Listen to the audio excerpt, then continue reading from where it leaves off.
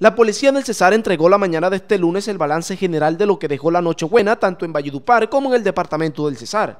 Uno de los ítems que más se elevó fue el de lesiones personales y riñas en todo el Cesar, que pasó de 133 en el año 2015 a 410 en este año. Tenemos solamente en la ciudad de Valledupar 217 riñas en comparación con 66 del año pasado y un total para el departamento del Cesar de 410 en el fin de semana en comparación con 133 del año pasado.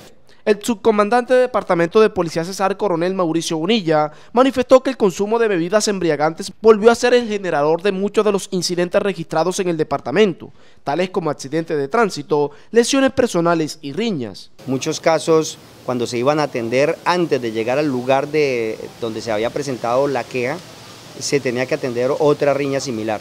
Se recibieron un total de 8.507 llamadas durante el fin de semana. En cuanto tiene que ver con el uso de pólvora, la policía del Cesar reportó dos casos, uno en el municipio de Tamalameque y otro en el municipio de San Alberto.